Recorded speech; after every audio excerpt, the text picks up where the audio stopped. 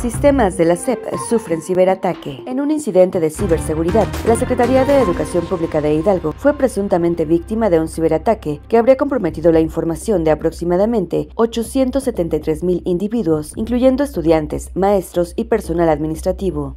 De acuerdo con un portal nacional, el hacker, conocido como Masco y vinculado con un grupo Mexican Mafia, afirmó tener acceso completo a los sistemas de la SEP, lo que le permite extraer datos sensibles almacenados en sus servidores. El hacker Masco no solo ha declarado su acceso a esta vasta cantidad de información, sino que también ha comenzado a filtrar documentos confidenciales para demostrar su incursión. Entre los archivos expuestos se encuentran credenciales del INE, diplomas, registros familiares, CURP y boletas de calificaciones. Este grupo ha estado activo desde principios de 2024, realizando ataques cibernéticos contra diversas instituciones gubernamentales en México. Según el portal, el hacker ha publicado 2.7 GB de información privada correspondiente a cerca de 100 personas en un foro de la Deep Web especializado en ciberdelincuencia.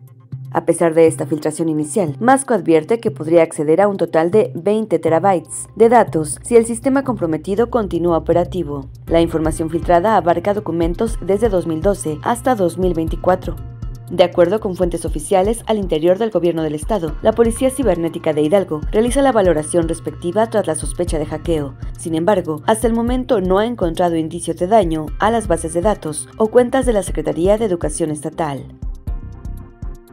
con información de Carmen Hernández.